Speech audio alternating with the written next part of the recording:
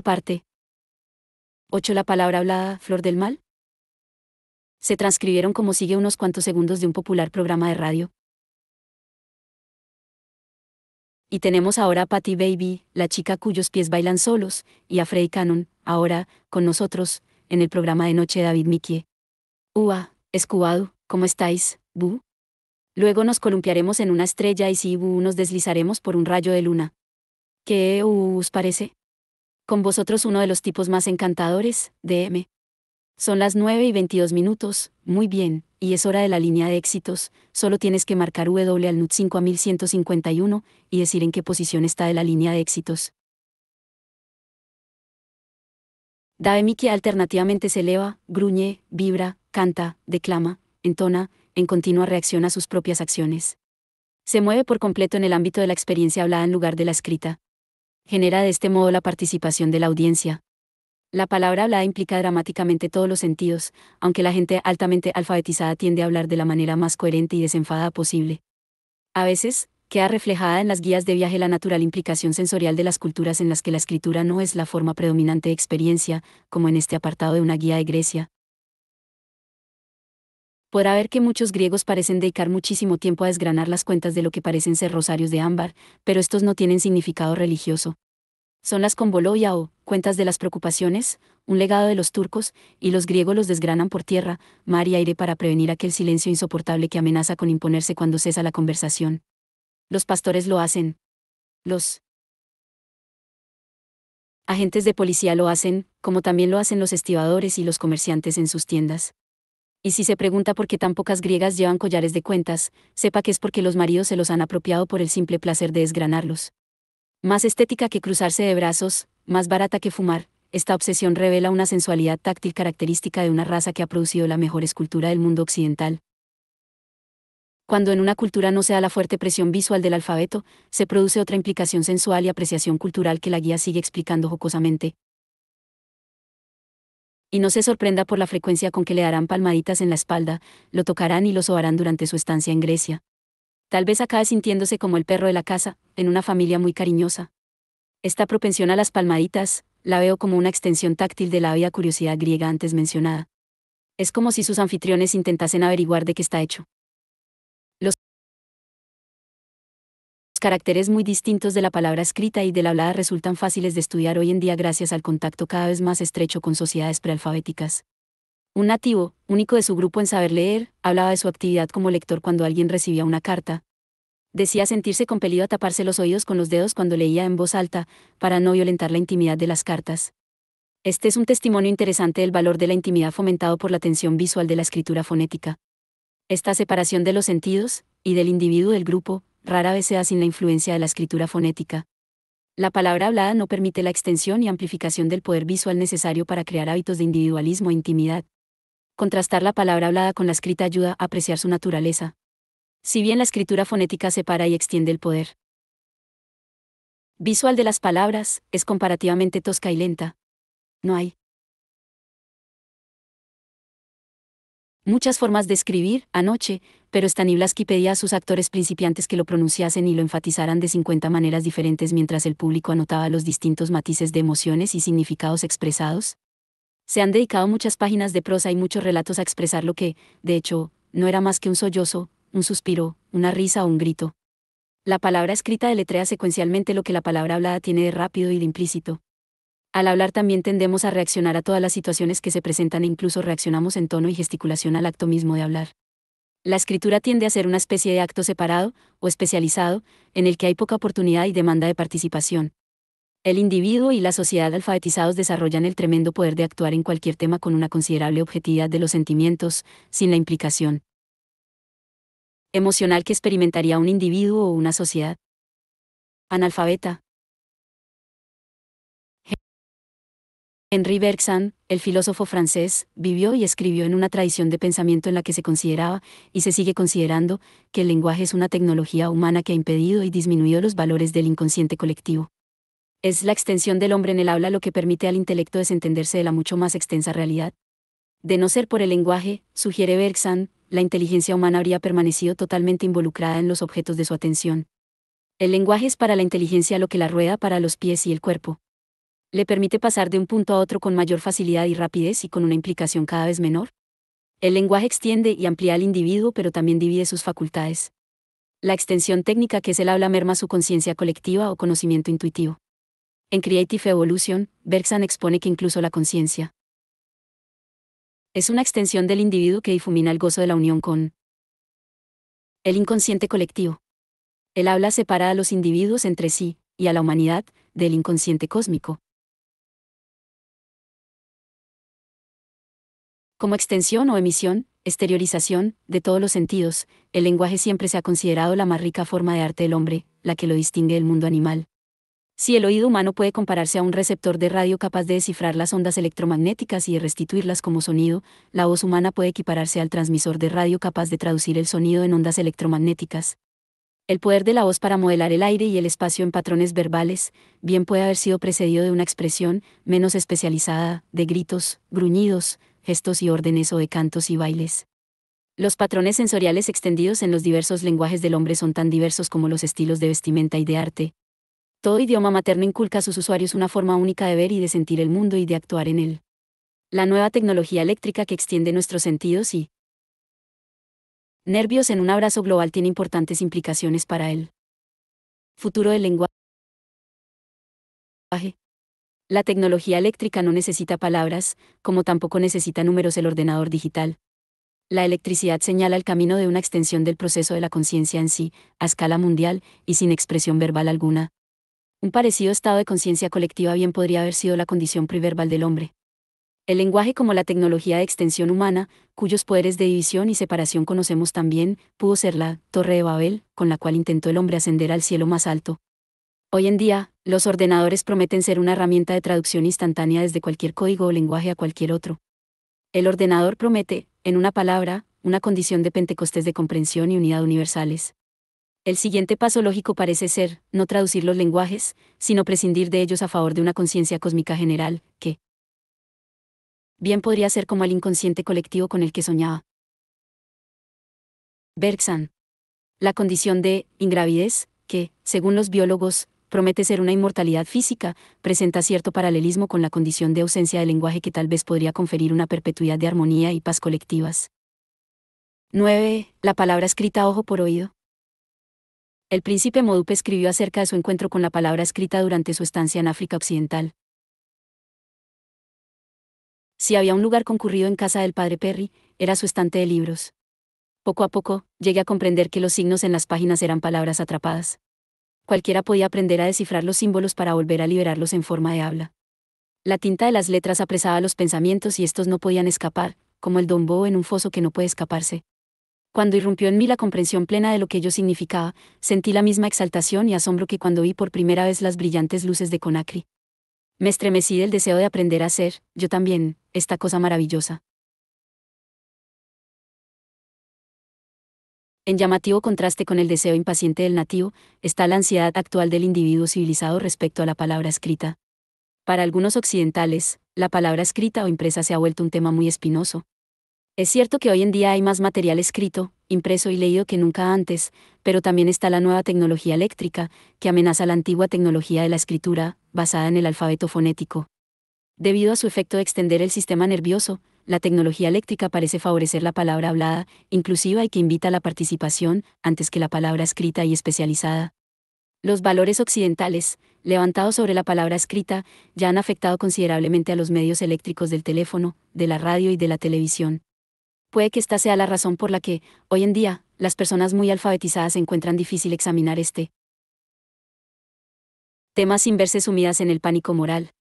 Está, además, la agravante de que, durante sus más de 2.000 años de alfabetización, el occidental haya hecho tan poco para estudiar o comprender los efectos del alfabeto fonético en la creación de muchos de sus patrones culturales básicos. Por lo tanto, puede que sea tarde para empezar ahora a examinar la cuestión. Imagine que, en lugar de las barras y de las estrellas, escribiéramos las palabras, bandera estadounidense, en un trozo de tela y lo enarbolásemos. Si bien los símbolos expresarían el mismo significado, sus efectos serían muy distintos. Trasladar el rico mosaico visual de las barras y de las estrellas a la forma escrita equivaldría a despojarlo de gran parte de sus cualidades de experiencia e imagen corporativas, aun permaneciendo casi igual el vínculo abstracto. Tal vez este ejemplo logre sugerir los cambios que experimenta el individuo tribal cuando se alfabetiza. Casi todas las emociones y sentimientos colectivos familiares quedan eliminados de las relaciones con el grupo social. Se vuelve emocionalmente libre de separarse de la tribu para convertirse en un individuo civilizado, en un individuo de organización visual con actitudes, hábitos y derechos similares a los de todos los demás individuos civilizados? El mito griego del alfabeto relata como Cadmas, rey que según dicen introdujo el alfabeto fonético en Grecia, sembró dientes de dragón de los cuales brotaron hombres armados. Como cualquier otro mito, este condensa en un destello intuitivo un largo proceso. El alfabeto supuso poder, autoridad y control a distancia de las estructuras militares. Unido al papiro, el alfabeto fonético dictaminó el fin de la estática burocracia de los templos y del monopolio sacerdotal del saber y del poder. A diferencia de la escritura prealfabética que, con sus innumerables signos, era difícil de dominar, el alfabeto podía aprenderse en unas pocas horas. La adquisición de un conocimiento tan extensivo y complejo como la escritura prealfabética, y su utilización en materiales tan poco maleables como la piedra o el ladrillo, supuso para la casta de los escribas el monopolio del poder sacerdotal. El alfabeto, más sencillo, y el papiro, más barato, ligero y fácil de transportar, efectuaron una transferencia de poder de la clase sacerdotal a la militar. Todo ello está implícito en el mito de Cadmas y de los dientes de dragón, incluida la caída de las ciudades-estado y la aparición de imperios y burocracias militares. En términos de las extensiones del individuo, en el mito de Cadmas es sumamente importante el tema de los dientes de dragón. En Crowds and Power, Elias Canetti nos recuerda que los dientes son un agente de poder obvio en el hombre y más aún en varios animales. Los lenguajes están llenos de testimonios de la fuerza y precisión de los dientes para agarrar y devorar. Es natural y apropiado que se expresara el poder de las letras como agentes de precisión y de orden agresivo como extensiones de los dientes de un dragón. Los dientes, en su orden lineal, son enfáticamente visuales. Las letras no solo son visualmente parecidas a los dientes, en la historia occidental, es obvio su poder de dar mordiente al negocio de la construcción de imperios. El alfabeto fonético es una tecnología única. Ha habido muchos tipos de escritura, pictográfica y silábica, pero solo hay un alfabeto fonético en que se emplean letras sin sentido semántico que corresponden a sonidos también sin sentido semántico. La clara división y paralelismo entre un mundo visual y otro auditivo fueron a la vez repentinos y despiadados, culturalmente hablando. La palabra fonéticamente escrita sacrifica mundos de significado y percepción que quedaban firmemente sujetos en formas como el jeroglífico o el ideograma chino.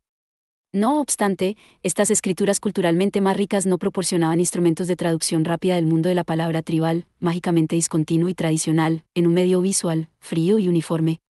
Muchos siglos de empleo de ideogramas no amenazaron la trama continua de sutilezas familiares y tribales de la sociedad china. Por otro lado, en la África de hoy como en la Galia de hace dos mil años, basta una sola generación de alfabetización fonética para liberar al individuo, al menos al principio, de la trama tribal. Este hecho no tiene nada que ver con el contenido de las palabras transcritas con el alfabeto fonético, es el resultado de la repentina separación de las experiencias auditiva y visual del hombre. Solo el alfabeto fonético puede provocar tan nítida división de la experiencia, ofreciendo a su usuario un oído por un ojo, y liberándolo del trance tribal de la vibrante palabra mágica y de la Trama de vínculos. Podría arguirse que el alfabeto fonético, y solo él, fue la tecnología que se convirtió en el instrumento creador del hombre civilizado, individuos iguales ante un código escrito de leyes. El individuo aislado, la continuidad del espacio y del tiempo y la uniformidad de los códigos son las primeras características de las sociedades civilizadas y alfabetizadas. En cuanto a la extensión y delicadeza de la percepción y de la expresión, las culturas tribales India y China bien podrían ser superiores a las occidentales. No obstante, no estamos considerando ahora cuestiones de valores, sino las configuraciones de las sociedades. Las culturas tribales no pueden barajar la posibilidad de un individuo o ciudadano aislado. Sus nociones de tiempo y de espacio no son ni continuas ni uniformes, sino compasivas y compresivas en su intensidad. Es por su poder de extender patrones de uniformidad y de continuidad visuales que las culturas experimentan el mensaje del alfabeto. En cualquier cultura alfabetizada, el alfabeto fonético, como intensificación y extensión de la función visual, reduce el papel de los otros sentidos, el oído, el tacto y el gusto. El hecho de que yo no ocurra en culturas como la China, que emplean escrituras no fonéticas, les permite conservar una rica percepción de la experiencia, inclusiva y en profundidad, que tiende a erosionarse en las civilizadas culturas del alfabeto fonético. El ideograma es una gestalt inclusiva, no una disociación analítica de sentidos y funciones, como lo es la escritura fonética. Es obvio que los logros del mundo occidental son testimonios de los tremendos valores de la alfabetización. Pero mucha gente está dispuesta a objetar que hemos pagado un precio demasiado alto por nuestra estructura de valores y tecnologías especializadas. Por supuesto, la estructuración lineal de la vida racional por la escritura fonética nos ha involucrado en un conjunto engranado de coherencias que son lo bastante curiosas como para justificar una investigación mucho más amplia que la del presente capítulo. Puede que haya enfoques mejores siguiendo otras líneas, por ejemplo, se considera la conciencia como la señal del ser racional, y, sin embargo, no hay nada lineal ni secuencial en el campo total de conocimiento que existe en cualquier momento dado de conciencia.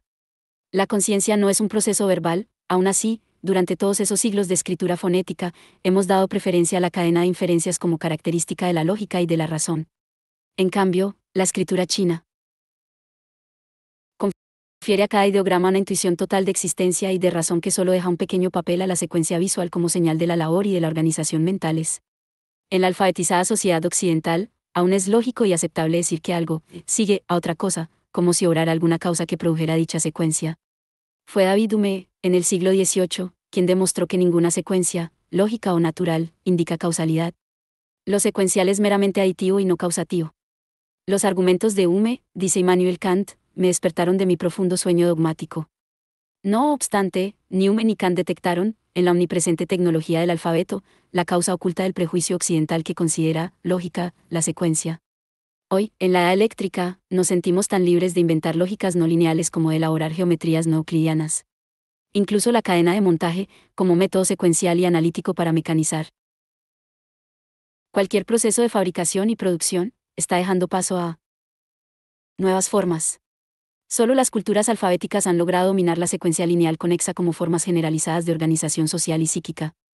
El secreto del poder occidental sobre el hombre y la naturaleza consiste en la descomposición de toda clase de experiencias en unidades uniformes para producir más rápidamente una acción y un cambio de formas, las ciencias aplicadas. Esta es la razón por la que resultaron tan militantes los programas industriales occidentales y tan industriales sus programas militares. Las técnicas de transformación y de control de ambos tipos de programas han sido modeladas por el alfabeto, que es uniformes y continuas todas las situaciones. Este procedimiento, manifiesto incluso en la etapa greco-romana, se intensificó con la uniformidad y el carácter repetitivo de la técnica de Gutenberg. La civilización se ha erigido sobre la capacidad de leer y escribir porque la alfabetización supone un tratamiento uniforme de una cultura con el sentido de la vista, extendido en el espacio y el tiempo. Por el alfabeto. En las culturas tribales, se ordena la experiencia de acuerdo con un predominante sentido vital auditivo que reprime los valores visuales. El sentido del oído, a diferencia del ojo, frío y neutro, es hiperestético, delicado y universalmente inclusivo. Las culturas orales actúan y reaccionan al mismo tiempo. La cultura fonética otorga al hombre unos instrumentos para reprimir sus sentimientos y emociones mientras obra. Actuar sin reaccionar, sin verse implicado, es la peculiar ventaja del occidental alfabetizado. La historia de The Ugly American describe el sinfín de meteduras de pata de los civilizados y visuales estadounidenses cuando se vieron enfrentados a las culturas tribales y auditivas de Oriente. En el marco de un civilizado experimento de la UNESCO, se instaló recientemente agua corriente, con su organización lineal de tuberías, en algunas aldeas indias.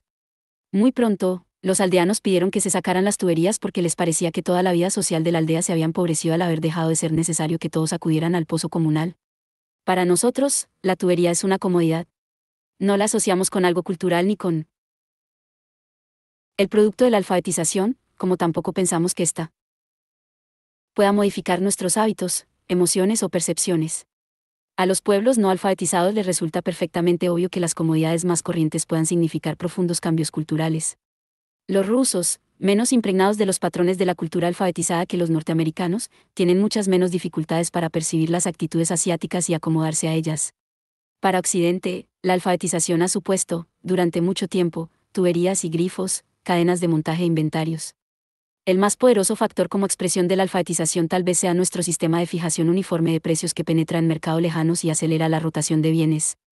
En el alfabetizado Occidente, las ideas de causa y efecto han asumido, desde hace mucho tiempo, la forma de cosas en secuencia y sucesión, idea que resultaría ridícula en cualquier cultura tribal o auditiva, y que ha perdido su lugar destacado en las nuevas física y biología, Todos los alfabetos empleados en el mundo occidental, del ruso al vasco y de Portugal a Perú, se derivaron de las letras grecorromanas. Su separación, única, de la vista y el sonido del contenido semántico y verbal los convirtió en una tecnología de lo más radical en la traducción y homogeneización de las culturas. En general, todos los demás tipos de escritura sirvieron a una única cultura, a la que, por otra parte, también separaron de todas las demás culturas. Solo las letras fonéticas podían utilizarse para traducir, por muy toscamente que sea, los sonidos de cualquier idioma en un único código visual. Hoy en día, los esfuerzos de los chinos para emplear nuestras letras fonéticas para traducir su idioma se encuentran con problemas específicos debidos a las grandes variaciones tonales y de sentido que sonidos similares pueden tener. Ello ha llevado a la práctica de fragmentar los monosílabos chinos en polisílabos para eliminar las ambigüedades tonales. El alfabeto fonético occidental está operando una transformación de las características centrales del idioma y de la cultura china para que China también pueda desarrollar los patrones lineales y visuales que, confieren una unidad esencial y un uniforme poder agregado al trabajo y a la organización occidentales. A medida que vamos saliendo de la época de Gutenberg de nuestra propia cultura, podernos discernir más fácilmente sus características primarias de homogeneidad, uniformidad y continuidad. Estas fueron las características que dieron a griegos y romanos un ascendiente fácil sobre los bárbaros analfabetos. El bárbaro, o individuo tribal, entonces como ahora, se ve obstaculizado por el pluralismo cultural, la unicidad y la discontinuidad. Para resumir, las escrituras jeroglífica y pictográfica, como las que utilizaron las culturas babilónica, maya y china, representan una extensión del sentido de la vista para almacenar y acelerar el acceso a la experiencia humana. Estas formas dan sentidos orales a la expresión pictórica.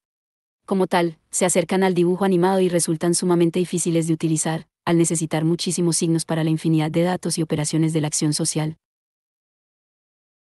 En cambio, el alfabeto fonético, con solamente unas pocas letras, podía abarcar todos los lenguajes.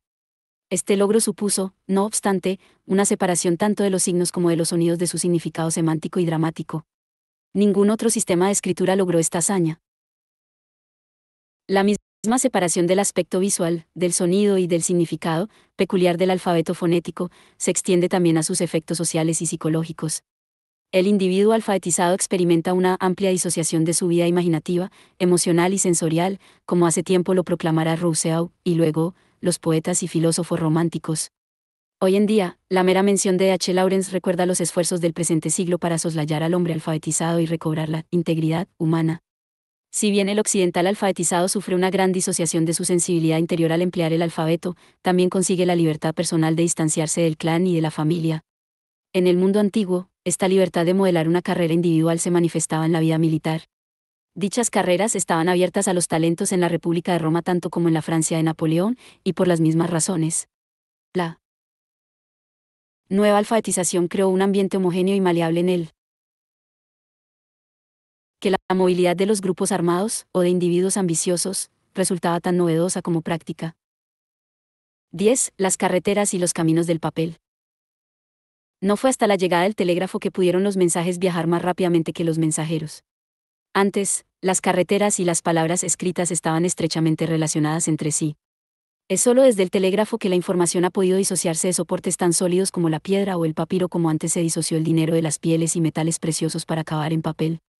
Se venía empleando extensamente el término comunicación en conexión con carreteras, puentes, rutas marítimas, ríos y canales, mucho antes de que se convirtiera en movimiento de información, en la edad eléctrica.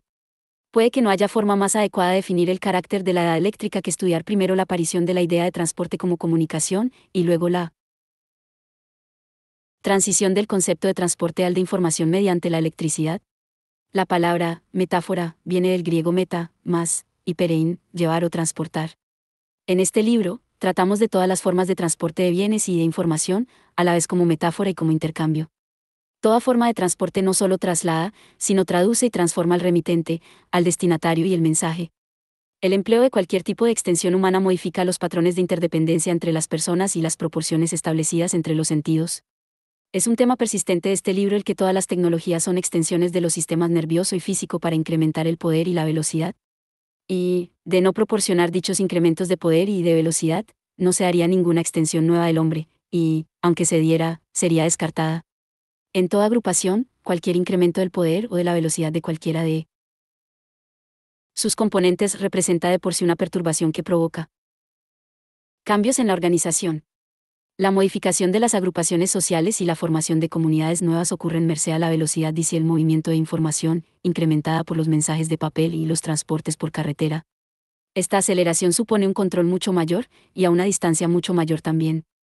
Históricamente, representó la formación del Imperio romano y la desorganización de las anteriores ciudades-estado del mundo griego antes de que el empleo del alfabeto y del papiro creara incentivos para construir carreteras rápidas y pavimentadas, las ciudades-estado y las ciudades amuralladas eran formas naturales susceptibles de perdurar.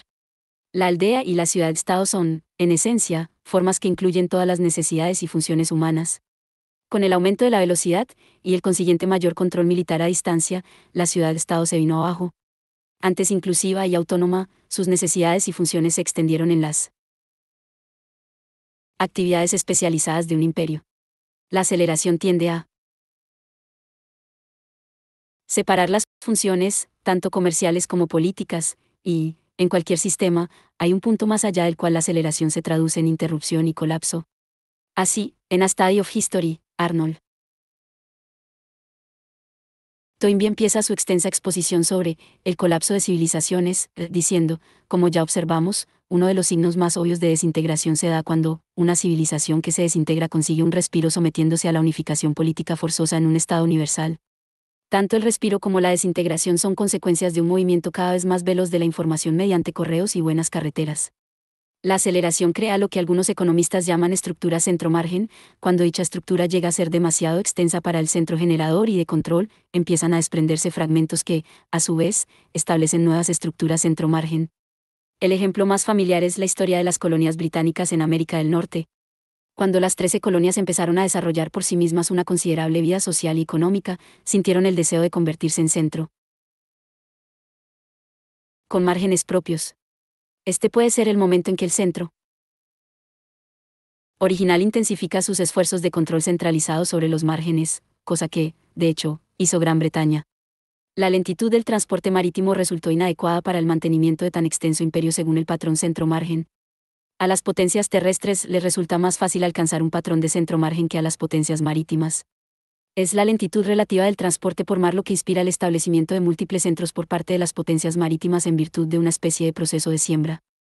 Así, las potencias marítimas tienden a crear centros sin márgenes mientras que los imperios terrestres prefieren la estructura centro-margen las velocidades eléctricas producen centros en todas partes. En este planeta, han desaparecido los márgenes. La falta de homogeneidad en la velocidad del movimiento de información crea diversos patrones de organización. Por lo tanto, resulta fácil predecir que cualquier nuevo modo de trasladar la información afectará a su vez a toda estructura de poder existente. Mientras dicho nuevo modo sea asequible en todas partes al mismo tiempo, cabe la posibilidad de que la estructura pueda cambiar sin colapsarse. Cuando se dan grandes disparidades entre las velocidades de los traslados, como entre el transporte aéreo y por carretera, o entre el teléfono y la máquina de escribir, se producen conflictos graves en el seno de las organizaciones. La metrópoli de hoy se ha convertido en banco de pruebas de dichas discrepancias. Si fuera absoluta la homogeneidad de las velocidades, no habría rebelión ni colapso con la imprenta fue posible, por primera vez, la unidad política por la homogeneidad. En la Roma antigua, sin embargo, solo existía el manuscrito en papel para perforar la opacidad, o reducir la discontinuidad, de las aldeas tribales, y, cuando se agotaron las existencias de papel, las carreteras se quedaron desiertas, como ocurre hoy en día cuando se raciona la gasolina. Así, volvió la antigua ciudad-estado y el feudalismo sustituyó al republicanismo, Parece bastante obvio que los instrumentos técnicos de la aceleración tengan que hacer desaparecer la independencia de aldeas y ciudades-estado cada vez que se ha producido una una aceleración, el nuevo poder centralista siempre ha tomado medidas para homogeneizar la mayor cantidad posible de zonas marginales. El mismo proceso que Roma llevó a cabo con el alfabeto fonético engranado sus rutas de papel ha ido sucediendo en Rusia durante todo lo que va de siglo y también respecto al ejemplo de la África de hoy en día, podemos observar hasta qué punto será necesario un procesamiento visual de la psique humana antes de que pueda darse, en un grado apreciable, cualquier organización social homogeneizada. En el mundo antiguo, gran parte de dicho procesamiento se efectuaba con tecnologías analfabetas, como en Asiria. Como transformador del hombre desde una cerrada cámara de resonancia tribal hasta el neutro mundo visual de la organización lineal, el alfabeto fonético no tiene rival. La situación de la África actual se ve complicada por la nueva tecnología electrónica, así como se están destribalizando los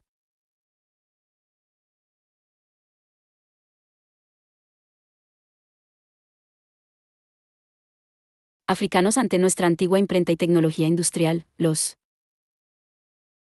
mismos occidentales se están desoccidentalizando en virtud de la actual aceleración eléctrica. Si comprendiéramos nuestros propios medios, nuevos y antiguos, podríamos programar y sincronizar estas confusiones e interrupciones. No obstante, el éxito mismo que tenemos en especializar y separar las funciones causa desatención e inconsciencia en cuanto a la situación. Y siempre ha sido así, al menos en el mundo occidental. La toma de conciencia de las causas y límites de la propia cultura parece amenazar la estructura del ego y, por lo tanto, se procura evitarla. Nietzsche dijo que la comprensión detiene la acción, y los hombres de acción parecen intuir este hecho al rehuir los peligros de la comprensión. Lo importante en la cuestión de la aceleración mediante la rueda, la carretera o el papel es la extensión del poder en un espacio cada vez más homogéneo y uniforme. No se apreció el verdadero potencial de la tecnología romana hasta que la imprenta confirió a la carretera y a la rueda una velocidad mayor que la del torbellino romano. Sin embargo, la aceleración de la edad electrónica es tan perturbadora para el alfabetizado y lineal occidental como lo fueron los caminos romanos del papel para los aldeanos tribales. La presente aceleración no es una lenta explosión hacia afuera, desde el centro hasta los márgenes, sino una implosión instantánea y una fusión mutua del espacio y de las funciones. Nuestra civilización especializada y fragmentada, con su estructura centro-margen, está experimentando de repente un nuevo e instantáneo montaje de todos sus elementos en un todo orgánico. Este es el nuevo mundo de la aldea global. La aldea, como explica Manfard en The City in History, logró una extensión social e institucional de todas las facultades humanas. La aceleración y los agregados urbanos solo sirvieron para separarlas unas de otras en formas cada vez más especializadas. La edad electrónica no puede sostener la marcha muy inferior de una estructura centro-margen, como la que asociamos a los últimos 2000 años de civilización occidental. Y tampoco es una cuestión de valores.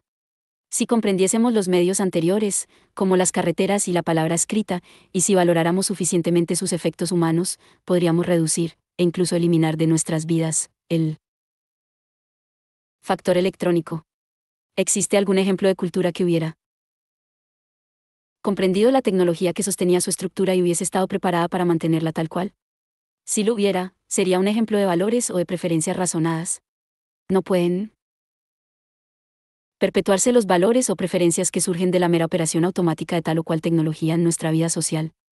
En el capítulo sobre la rueda, se demostrará que el transporte sin ruedas, que en parte se hacía con trineo sobre nieve o fangal, cumplió una función importante antes de la rueda, otra forma de transporte eran los animales de carga, el primero de los cuales fue la mujer, aunque la mayor parte del transporte sin rueda del pasado se hacía por ríos y por mar, hecho tan ricamente expresado y por la ubicación y forma de las grandes ciudades del mundo. Algunos autores han señalado que la más antigua bestia de carga del hombre fue la mujer porque los varones tenían que estar libres para competir por las mujeres, como los delanteros en un partido de fútbol, por decirlo así. Pero esta fase pertenece a la etapa del transporte anterior a la rueda, cuando solo existían las extensiones abiertas del cazador-recolector. Hoy en día, cuando el mayor volumen de transporte consiste en información, la rueda y la carretera están experimentando una recesión y se están volviendo obsoletas, pero, en primer lugar y dadas las presiones que suponía y ejercía la rueda, tuvo que haber carreteras para ella. Los asentamientos humanos crearon el impulso para el intercambio y un mayor movimiento de las materias primas y de los productos agrícolas, desde el campo hasta los centros de procesamiento, donde se daban la división del trabajo y la especialización técnica. Las mejoras de la rueda y de las carreteras acercaron cada vez más la ciudad al campo en una acción recíproca de absorción y expulsión parecida a la de la esponja. Es un proceso que hemos presenciado en este siglo con el automóvil. Las grandes mejoras en las carreteras llevaron aún más la ciudad al campo. Justo cuando se empezó a hablar de ir a dar una vuelta por el campo, la carretera sustituyó al campo.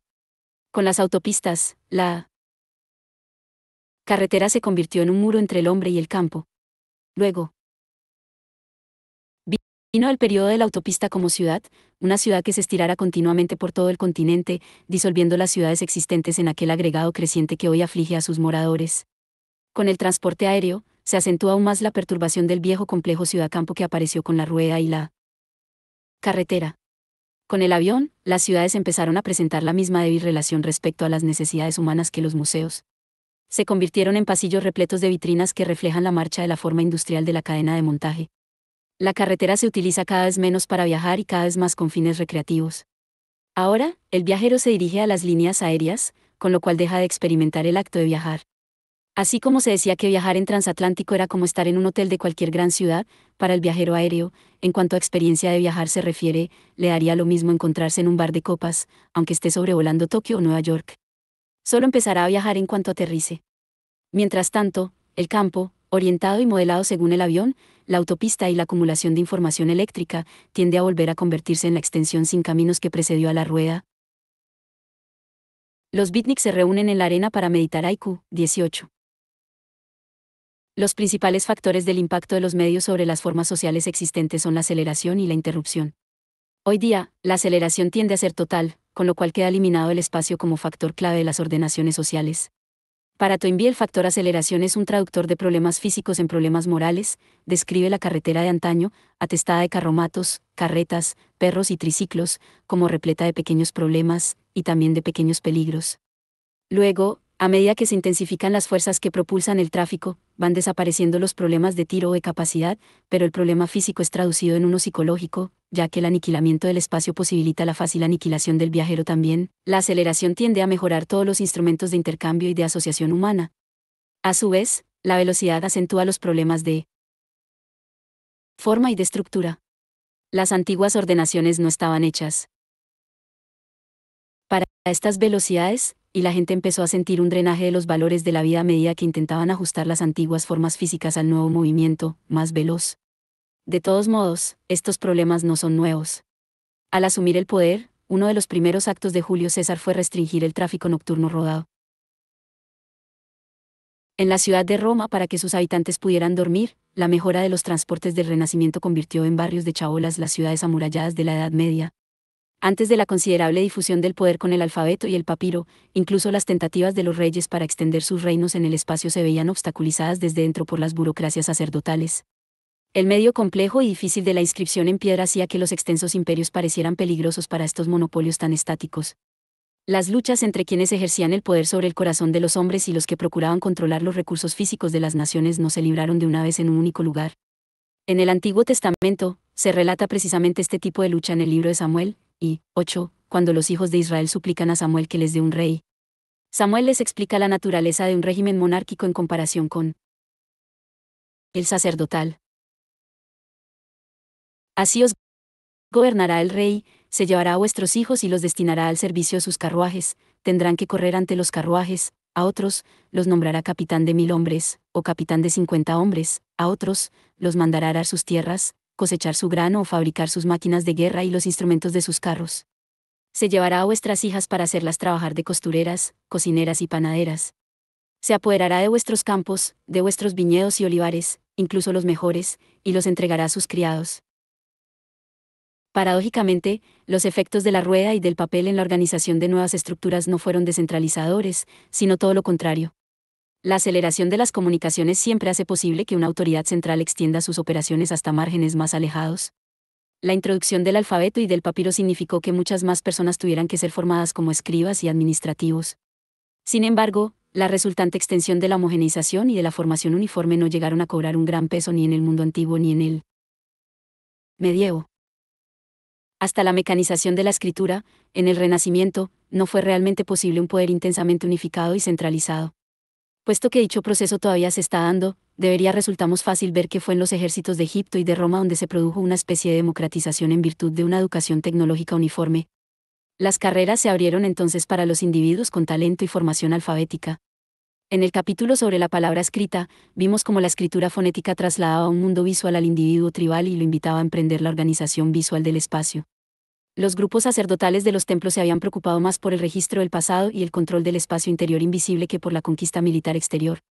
Así, se produjo un conflicto entre el monopolio sacerdotal del saber y los que querían aplicarlo fuera en forma de poder y de conquistas nuevas. Ahora este mismo conflicto se está librando entre la universidad y el mundo empresarial. Pues ese tipo de rivalidad lo que inspiró a Ptolomeo II la fundación de la Gran Biblioteca de Alejandría como centro de poder imperial. El inmenso personal de escribas y funcionarios asignado a tareas especializadas constituía una fuerza antitética y compensadora frente al cuerpo sacerdotal egipcio. La biblioteca podía servir a la organización política del imperio de una manera que no interesaba en absoluto a los sacerdotes. Hoy día, se está desarrollando una rivalidad no sin cierto parecido entre los científicos nucleares e individuos cuyo principal interés es el poder si nos darnos cuenta de que la ciudad como centro fue en primer lugar una congregación de aldeas amenazadas, nos resulta más fácil comprender cómo esas hostigadas compañías de refugiados pueden expandirse formando un imperio. La ciudad-estado, como forma, no surgió en respuesta a un pacífico desarrollo comercial, sino de un apiñamiento en busca de seguridad en medio de la anarquía y la disolución. Así, la ciudad-estado griega era una tribal de comunidad inclusiva integral, muy distinta de las ciudades especializadas que crecieron como extensiones de la expansión militar de Roma. Las ciudades-estado griegas acabaron desintegrándose a causa de la acostumbrada acción del comercio especializado y de la separación de funciones que escribe Munford en The City in History. Las ciudades romanas empezaron como operaciones especializadas del poder central. Las ciudades griegas acabaron así.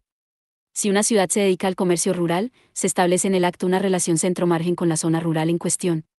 Dicha relación implica tomar materias primas y productos agrícolas del campo a cambio de los productos especializados de los artesanos. Por otro lado, si la misma ciudad intenta dedicarse al comercio exterior, es más natural que se siembre otro centro urbano, como hicieron los griegos, en vez de tratar el exterior como un margen especializado o proveedor de materias primas. Un breve repaso de los cambios estructurales en la organización del espacio que resultaron de la rueda, de las carreteras y del papiro podría rezar como sigue. Primero hubo la aldea, que carecía de todas las extensiones de grupo del cuerpo físico individual. No. Obstante, la aldea ya era un tipo de comunidad distinto de las de los pescadores o cazadores recolectores, porque los aldeanos pueden ser sedentarios e iniciar una división del trabajo y de las funciones. Su agrupación en sí es una forma de aceleración de las actividades humanas que aporta un ímpetu para más separación y especialización de la acción. Estas son las condiciones en las que la extensión de los pies como ruedas acelera la producción y los intercambios. A su vez, estos se convierten en condiciones que intensifican los conflictos comunales y las rupturas que envían a los hombres a cobijarse en agregados cada vez mayores, para poder resistir a las aceleradas actividades de otras comunidades. En virtud de su resistencia y para mayor seguridad y protección, las aldeas son absorbidas por las ciudades-estado.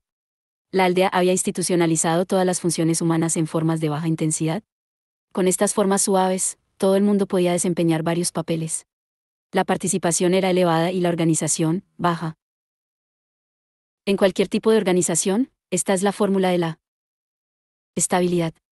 No obstante, la ampliación de la forma de aldea en ciudad-estado exigía una mayor intensidad y una separación inevitable de las funciones para dar abasto a dicha intensidad y competencia. Antes, todos los aldeanos participaban en los ritos estacionales que en la ciudad se convirtieron en el teatro griego. Para Manfard, la medida de la aldea prevaleció hasta el siglo IV en el desarrollo de la ciudad griega, de Sitting History. Es esta extensión y traducción de los órganos humanos en el modelo de la aldea sin pérdida de unidad corporal lo que Munford utiliza como criterio de excelencia para las formas urbanas en cualquier época y lugar. Hoy, en la edad eléctrica, se vuelve a buscar el enfoque biológico de un entorno hecho por el hombre. Qué extraño que, durante todos los siglos mecánicos, la idea de escala humana no sedujera en absoluto. La tendencia natural de la ampliada comunidad urbana es incrementar la intensidad y la velocidad de las funciones de toda clase, relacionadas con el lenguaje, las artesanías, la moneda y los intercambios. Ello implica a su vez una inevitable extensión de estas acciones por subdivisión o, lo que viene a ser lo mismo, la invención. Así, incluso a pesar de que la ciudad se formó como una especie de piel protectora, o escudo, para el hombre, dicha capa de protección solo pudo comprarse al precio de grandes conflictos dentro de los muros. Las maniobras militares como las descritas por Heródoto empezaron como baños de sangre rituales entre ciudadanos. Las tribunas, los juzgados y el mercado adquirieron la intensa imagen de división competitiva que hoy día llamamos arrebatiña. No obstante, fue en medio de tanta irritación que el hombre produjo, como antiirritantes, sus mayores invenciones, estas eran extensiones de sí mismo en un duro trabajo concentrado con el que esperaba neutralizar el peligro y la angustia. La palabra griega pounus o trabajo duro es un término que empleó Hipócrates, padre de la medicina, para describir la lucha de un cuerpo enfermo. Hoy en día, este concepto se denomina homeostasis, o equilibrio como estrategia para el mantenimiento de cualquier organismo dado. Todas las organizaciones, y más aún las biológicas, luchan para mantener constantes sus condiciones internas en medio de las variaciones inducidas por los choques y los cambios externos. Y, como extensión del cuerpo físico del hombre, el entorno social. Artificial no es ninguna excepción. La ciudad, como congregación política, responde a nuevas presiones e irritaciones con ingeniosas extensiones nuevas, en un esfuerzo constante para ejercer su poder de preservación, constancia, equilibrio y homeostasis. La ciudad, surgida para la seguridad, generó repentinamente extremas intensidades y nuevas energías híbridas a partir de las aceleradas interacciones entre funciones y conocimientos. Estalló en la agresión. La alarma de la aldea, seguida por la resistencia de la ciudad, se expandió en el agotamiento y la inercia del imperio.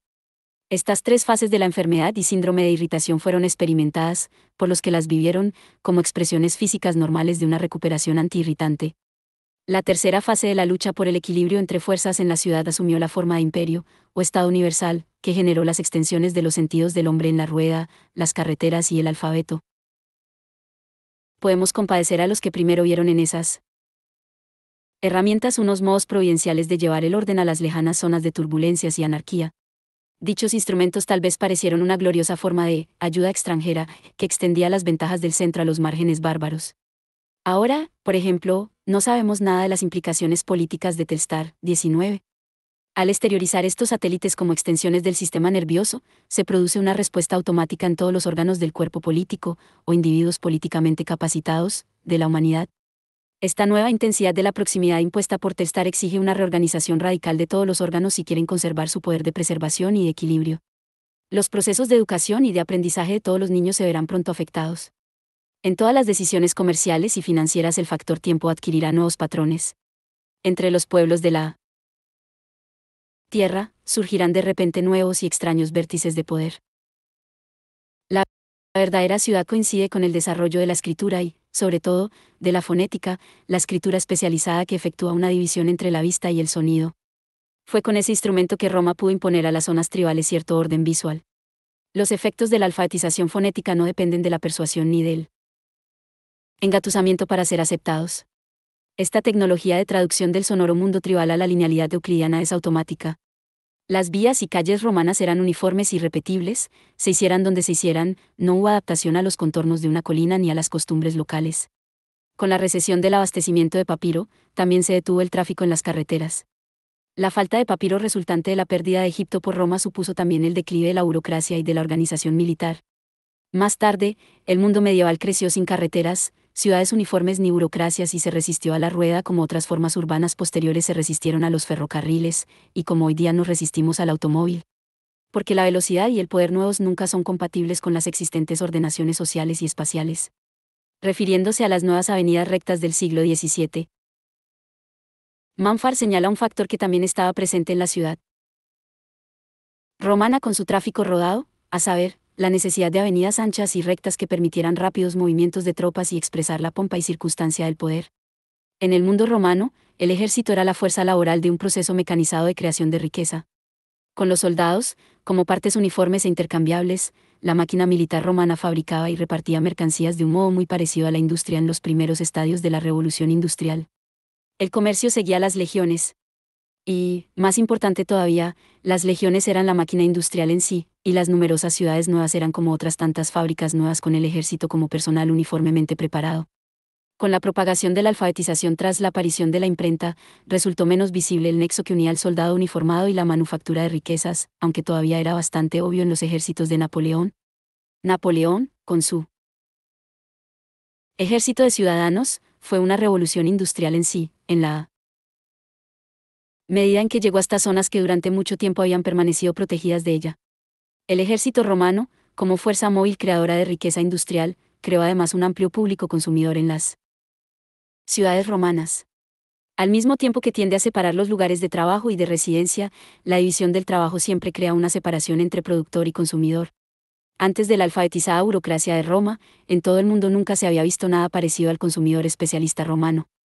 Este hecho quedó institucionalizado en el individuo llamado parásito y en la institución social de los combates de gladiadores, peinamel circenses. Las esponjas individual y colectiva, intentando ambas obtener sus dosis de sensaciones, consiguieron una horrible distinción y claridad, equiparable al brutal poder de la depredadora máquina militar.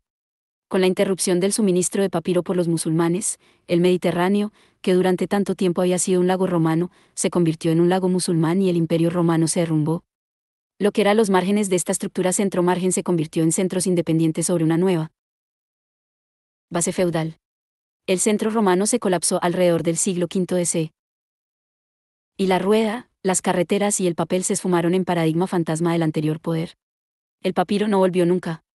Bizancio, como los centros medievales, confiaba principalmente en el pergamino, pero era un material demasiado escaso y caro como para acelerar el comercio o incluso la educación. Fue el papel, oriundo de China, que poco a poco se abría paso por Oriente Medio hasta Europa, el que, a partir del siglo XI, aceleró la educación y el comercio y proporcionó la base del renacimiento del siglo XII, al popularizar las copias en papel y, finalmente, al posibilitar la imprenta, en el siglo XV. Con la traducción de la información en forma impresa, la rueda y las carreteras volvieron a las andadas después de una parada de mil años.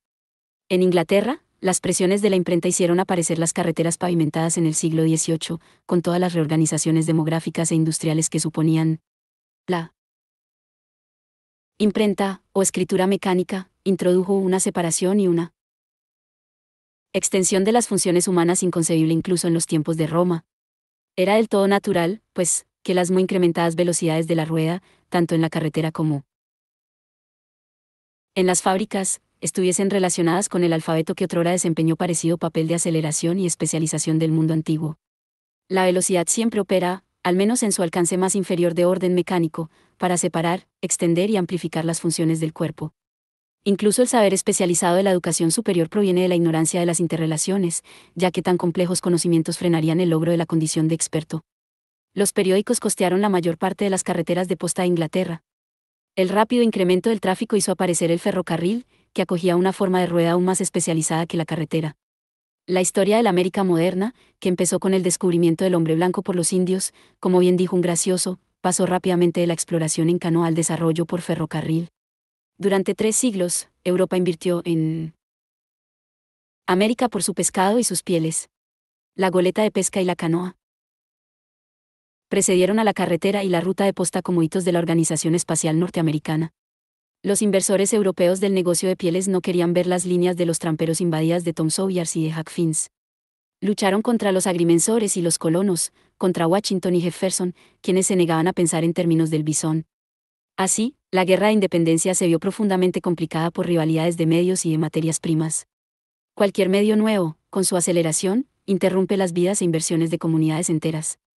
El ferrocarril elevó el arte de la guerra a una intensidad sin precedente, e hizo de la guerra de secesión la primera gran guerra que se libró por ferrocarril, motivo por el cual fue estudiada y admirada por los jefes de Estado Mayor europeos, que todavía no habían tenido la oportunidad de emplear los trenes en una masacre general. La guerra nunca sino un cambio tecnológico acelerado. Empieza cuando se ha producido un fuerte desequilibrio entre estructuras existentes debido a desigualdades entre sus tasas de crecimiento, las muy tardías industrialización y unificación de Alemania la dejaron durante numerosos años fuera de la carrera por las materias primas y las colonias. Así como las guerras napoleónicas fueron tecnológicamente una especie de recuperación del retraso de Francia respecto a Inglaterra, la Primera Guerra Mundial fue de por sí una fase importante de la industrialización final de Alemania y de los Estados Unidos. Como Roma lo demostró antes, y como Rusia lo ha demostrado en nuestra época, el militarismo es en sí la principal vía de educación y aceleración tecnológicas para las zonas atrasadas un entusiasmo casi unánime por unas mejores vías de comunicaciones terrestres siguió a la guerra de 1812. Además, el bloqueo británico de la costa atlántica había obligado a una inaudita cantidad de transporte terrestre, lo que enfatizó aún más el carácter insatisfactorio de las carreteras. Desde luego, la guerra es una especie de énfasis que da más de un toque revelador a la eficiente atención social. Sin embargo, en la muy caliente paz que siguió a la Segunda Guerra Mundial, fueron las carreteras de la mente las que, resultaron deficientes. Desde el Sputnik, muchos se han sentido insatisfechos con nuestros métodos pedagógicos, mostrando el mismo espíritu que la mayoría de quienes se quejaron de las carreteras durante la guerra de 1812. Ahora que el hombre ha extendido su sistema nervioso central con la tecnología eléctrica, el campo de batalla se ha trasladado a la elaboración y destrucción mental de imágenes, tanto en la guerra como en los negocios. Hasta la edad eléctrica, la educación superior había sido un privilegio y un lujo de las clases acomodadas, hoy en día, es una necesidad para la producción y la supervivencia. Ahora que la información en sí es lo que más circula, la necesidad de conocimientos avanzados presiona incluso a los espíritus más imbuidos de rutina. Tan repentina ola de formación superior en el mercado ostenta la calidad de una clásica peripecia o cambio de sentido, y el resultado han sido ataques de risa en las tribunas y los campus. La hilaridad irá disminuyendo a medida que los doctores en filosofía vayan ocupando los despachos de dirección para hacernos una idea de cómo la aceleración de la rueda y de la carretera vuelve a distribuir las poblaciones y los asentamientos, veamos algunos casos citados por Ocear Handlin en su estudio de la inmigración en Boston, Boston Immigrants. En 1790, nos dice, Boston era una unidad compacta en la que todos los trabajadores y comerciantes vivían a la vista unos de otros, por lo cual no había tendencia a segregar las zonas residenciales según criterios de clase. Pero, a medida que la ciudad crecía y que los distritos vecinos resultaban más accesibles, la gente se esparció, distribuyéndose en zonas distintivas. Esta frase condensa el tema de este capítulo podría generalizarse hasta englobar el arte de la escritura, a medida que aumentaban los conocimientos y se volvían más asequibles en su forma alfabética, se fueron dividiendo y repartiendo en especialidades. Hasta el punto inmediatamente anterior a la electrificación, el aumento de la velocidad produce una división de las funciones, de las clases sociales y del conocimiento. A velocidad eléctrica, sin embargo, todo ello queda invertido. La implosión y la contracción sustituyen a la explosión y la expansión. Mecánicas. Si la fórmula de Handling se aplicara al poder, ¿qué haría?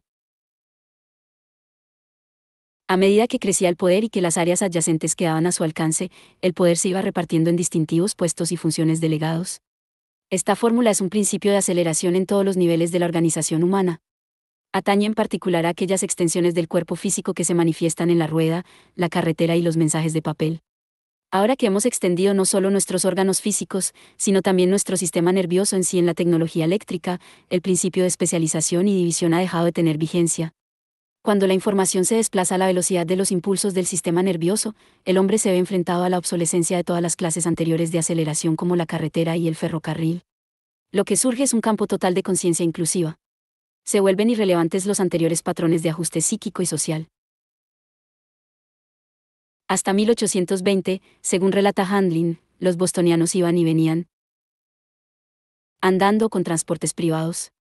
En 1826, se introdujeron los autobuses tirados por caballos y estos aceleraron y ampliaron mucho la actividad comercial. Mientras tanto, la aceleración de la industria en Inglaterra había extendido los negocios hasta las zonas rurales, lo que desplazó a mucha gente del campo y aumentó el índice de emigración el transporte de migrantes se volvió lucrativo y favoreció una gran aceleración del transporte oceánico. Luego, el gobierno británico subvencionó la línea Cunard para asegurar unas ágiles comunicaciones con las colonias. Muy pronto el ferrocarril se conectó con los servicios de Cunard para llevar tierra dentro del correo y a los emigrantes.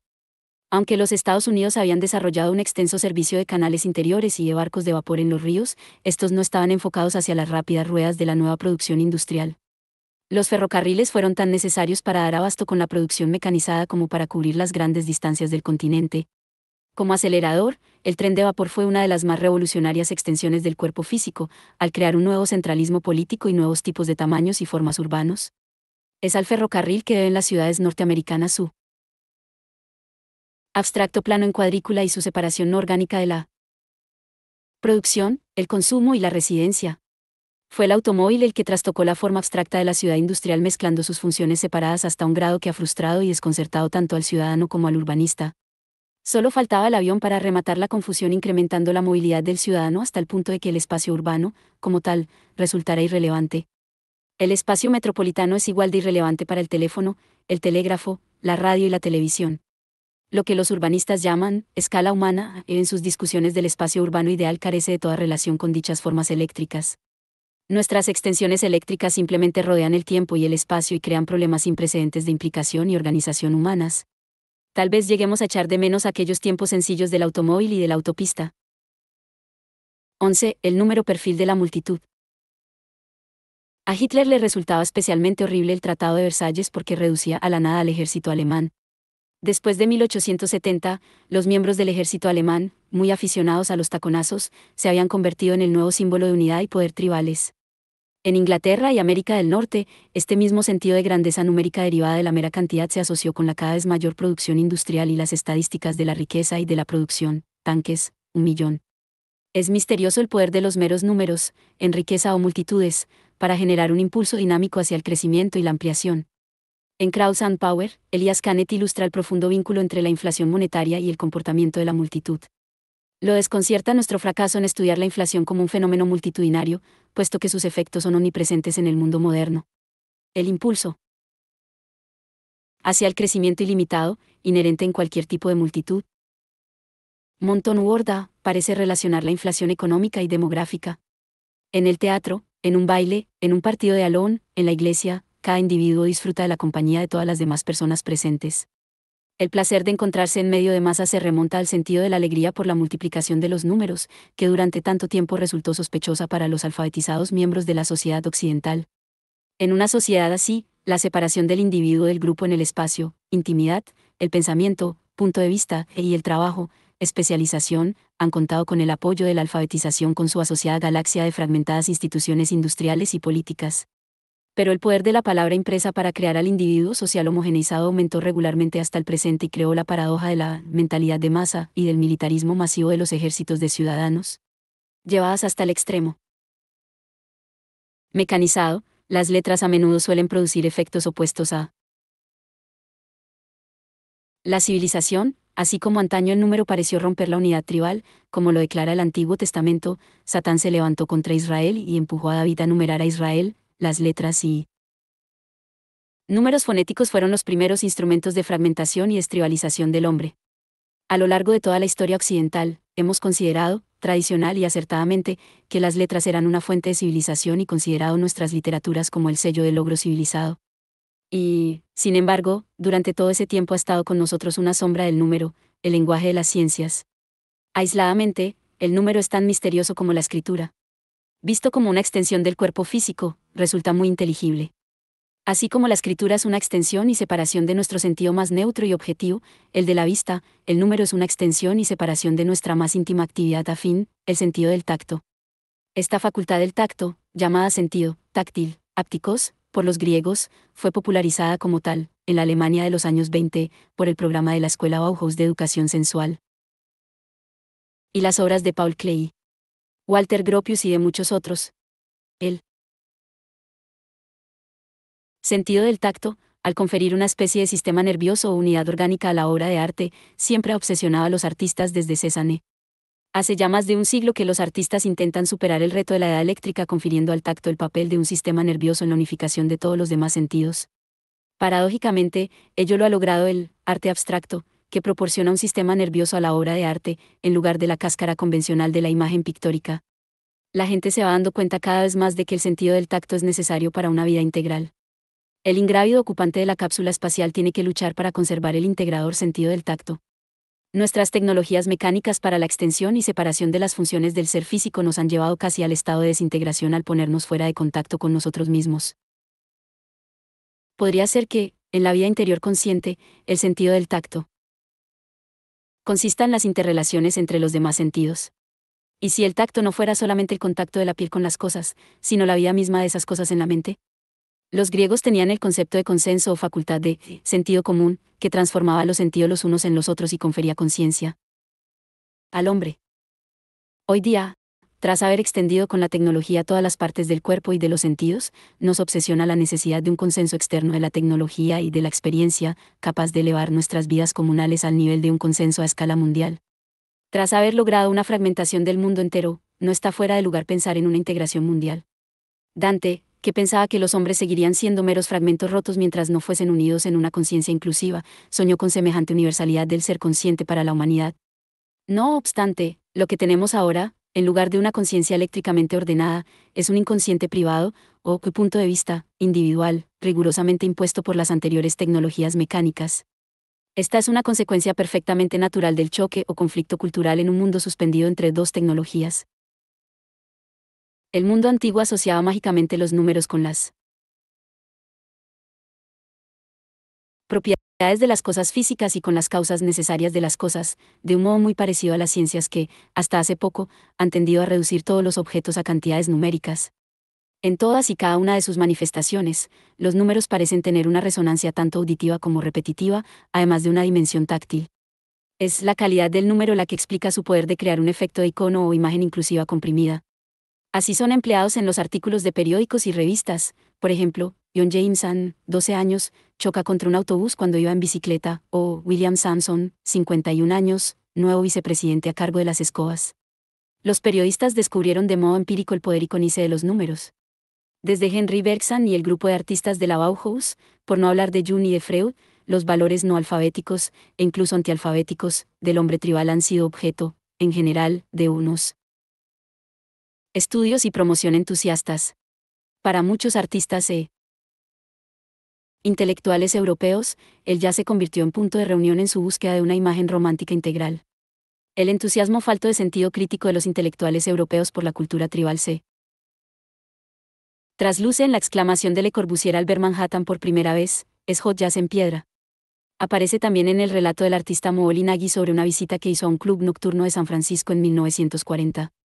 Una orquesta negra estaba tocando con chispa y alegría. De repente, uno de los músicos entonó, un millón tres, y le contestaron, un millón siete y medio, otro músico cantó, once, y otro, veintiuno, entonces, en medio de la risa general y los gritos, los números invadieron el lugar. Molinagui observa que, a los europeos, América del Norte les parecía un país de abstracciones, en el que los números habían asumido una existencia propia en frases como 57 variedades, todas 5 y 10, 0, 7 up, y, y detrás de la ola 8, 20. Eso cuenta. Tal vez sea una especie de eco de una cultura industrial que depende muchísimo de precios, gráficas y cifras. Tome 90-60-90, los números no pueden ser más sensualmente táctiles que cuando son murmurados, como palabras mágicas, para describir la figura femenina mientras la táctil mano barre el aire. Baudelaire tuvo una acertada intuición de los números como manos táctiles o sistema nervioso para unas unidades separadas y en recíproca interrelación cuando dijo, el número está dentro de la persona. La borrachera es un número. Ello explica por qué el placer de encontrarse en medio de una multitud es una misteriosa expresión del deleite que encierra la multiplicación del número. Es decir, los números no son simplemente auditivos y resonantes, como la palabra hablada, sino que se originan en el sentido del tacto, del que son una extensión. La agregación estadística o invasión de números produce las actuales pinturas rupestres o dibujos infantiles en las tablas de los estadísticos. En todos los sentidos, la acumulación estadística de números representa para el hombre una nueva entrada de intuición primitiva y de conciencia mágicamente subconsciente, tanto de la emoción como del gusto públicos. C.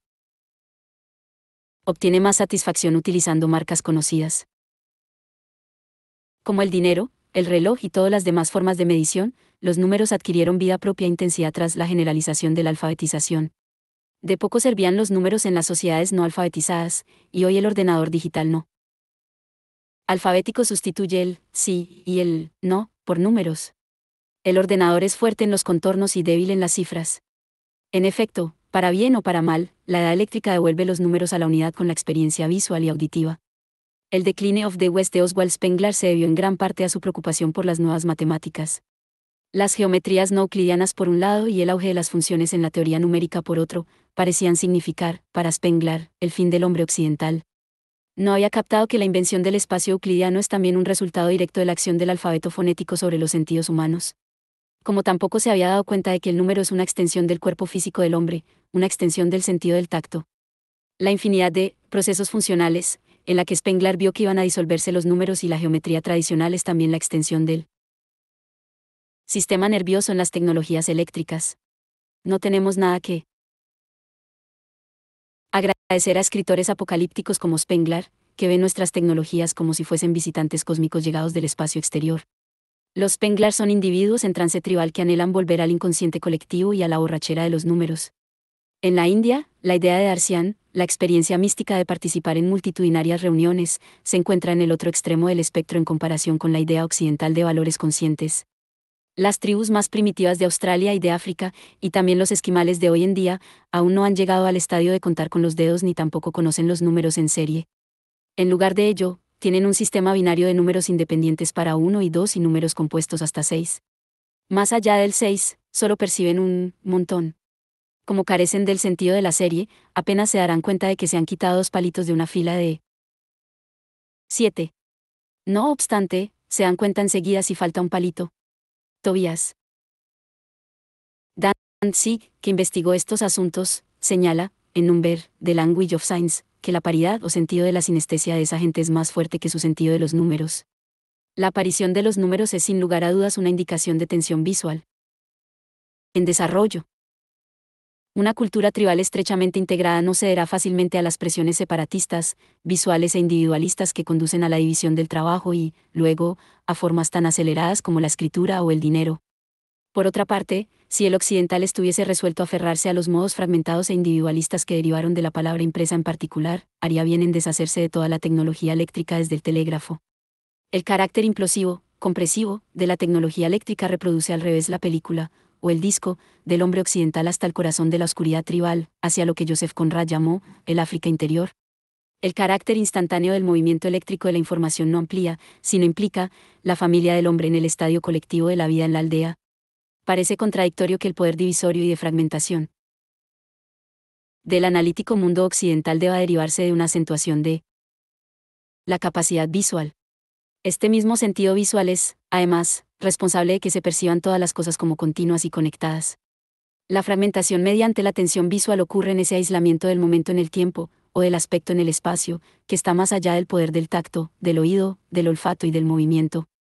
Al imponer relaciones imposibles de visualizar, que son el resultado de la velocidad instantánea, la tecnología eléctrica derroca el sentido de la vista y nos devuelve el dominio de la sinestesia y de las estrechas implicaciones recíprocas de los otros sentidos. Spengler quedó sumido en la mayor desesperación ante lo que percibió como la retirada de Occidente, desde la magnitud numérica hasta una tierra imaginaria de funciones y relaciones abstractas. Lo más valioso de la matemática clásica, escribe, es su proposición de que el número es la esencia de todas las cosas perceptibles por los sentidos. Definido como medida, el número contiene todo el sentir mundial de un alma apasionadamente dedicada al aquí y ahora. En este sentido, medición se refiere a la medición de algo cercano y corpóreo.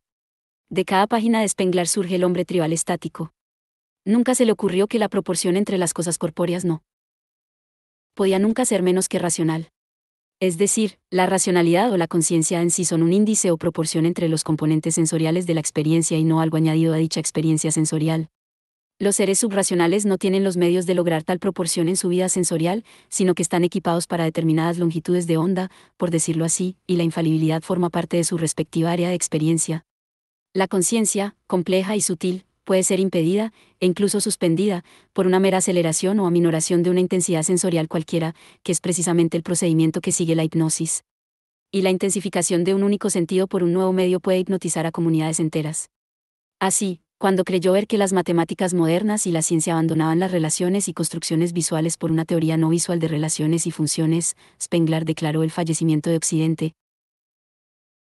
Si Spengler se hubiese tomado el tiempo de descubrirlos, orígenes tanto de los números como del espacio euclidiano en los efectos psicológicos del alfabeto fonético, tal vez nunca habría escrito The Decline of the West. Esta obra parte del supuesto de que el hombre clásico, el hombre apolíneo, no era el producto de un prejuicio tecnológico de la cultura griega, es decir, los primeros impactos de la alfabetización en una sociedad tribal, sino el resultado de un temblor en la materia del alma, que se cerró sobre el mundo griego. Este es un caso revelador de lo pronto que siente pánico el hombre de una cultura dada cuando algún patrón familiar o hito ha sido emborronado o trasladado a causa de la presión indirecta de medios nuevos. Spengler, como Hitler, derivó de la radio un mandato inconsciente de anunciar el fin de todos los valores, racionales o visuales. Actuó como Pip en Grandes Esperanzas de Dickens.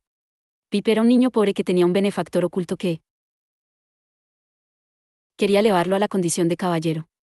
Pip estaba de acuerdo y, dispuesto hasta que descubrió que su benefactor era un convicto escapado. Spengler y Hitler y otros muchos supuestos, irracionalistas, de este siglo son como los chicos de los telegramas cantados, 21, completamente inocentes de toda comprensión del medio que provoca la canción que cantan. Para Tobias Danzig, en Number, The Language of Science, el progreso desde el táctil manoseo de los dedos de los pies y de las manos hasta el concepto homogéneo de número, que posibilitó la matemática, es el resultado de una abstracción visual de la operación de manejo táctil. Estos dos extremos quedan recogidos en nuestro lenguaje cotidiano. La expresión, poner el dedo sobre, en la jerga mafiosa significa que ha salido el número de alguien. En el extremo de la gráfica de perfil de los estadísticos está el objeto abiertamente expresado de manipulación de la población para diversos fines relacionados con el poder. Por ejemplo, en cualquier gran firma de agentes de bolsa, hay un brujo moderno conocido como el SR Rarezas. Su función mágica consiste en estudiar las compras y ventas diarias de los pequeños inversores en las principales bolsas. Una larga experiencia ha revelado que estos suelen equivocarse el 80% de las veces. Un perfil estadístico del fracaso para sintonizarse del individuo modesto. Permite a los grandes agentes de bolsa acertar el 80% de las veces. Así, del error surge la verdad, y de la pobreza, la riqueza, gracias a los números. Esta es la magia moderna de los números. Una actitud más primitiva hacia el poder mágico de los números queda ilustrada en el pavor de los ingleses cuando Guillermo el Conquistador los contó, a ellos y a sus bienes muebles, para consignarlos en lo que el pueblo llamaba el libro del juicio final. Volviendo brevemente a la cuestión de los números en su Manifestación más limitada, Danzig, tras dejar bien claro que el concepto de homogeneidad había de darse antes de que los números primitivos pudieran avanzar hasta el nivel de la matemática, señala otro factor alfabético y visual en las antiguas matemáticas. Observa, la correspondencia y la sucesión, que impregnan toda la matemática. Cero, mejor dicho, todos los campos de las ciencias exactas, están entretejidas en la tela misma de nuestro sistema numérico. Pues, sí que están entretejidas en la tela misma de la lógica y de la filosofía occidentales. Ya hemos visto cómo la tecnología fonética favoreció la continuidad visual y el punto de vista personal, y cómo estos contribuyeron a la aparición del uniforme. Espacio euclidiano. Danzig dice que fue la idea de correspondencia la que nos dio los números cardinales. Ambas ideas espaciales, la linealidad y el punto de vista se dan con la escritura, y en particular con la fonética, pero ninguna es necesaria para la física y matemática nuevas. Como tampoco es necesaria la escritura para una tecnología eléctrica. Por supuesto, la escritura y la aritmética pueden seguir siendo de gran utilidad al hombre durante mucho tiempo, a pesar de todo. Incluso Einstein no pudo enfrentarse fácilmente a la nueva física cuántica. Demasiado visual y newtoniano para esa nueva tarea, dijo que los cuantos no podían tratarse matemáticamente. Equivale a decir que la poesía no puede ser traducida correctamente en forma meramente visual en la página impresa. Danzig desarrolla este punto respecto al número diciendo que una población alfabetizada pronto deja el abaco y el contar con los dedos, aunque los manuales de aritmética del Renacimiento seguían, dando sofisticadas reglas para calcular con los dedos. Podría ser que, en algunas culturas los números hayan precedido al conocimiento de la escritura, pero también la atención visual precedió este conocimiento. La escritura solo es la principal manifestación de la extensión del sentido visual, como pueden recordárnoslo hoy día la fotografía y el cine. Y, mucho tiempo antes de la tecnología de la escritura, los factores binarios de los pies y de las manos fueron suficientes para encarrilar al hombre hacia el cálculo. De hecho, el matemático Leibniz veía la imagen de la creación en la elegancia mística del sistema binario de 0 y 1. Para él, era suficiente la unidad del Ser Supremo, operando en el vacío con una función binaria, para crear todos los seres a partir de la nada.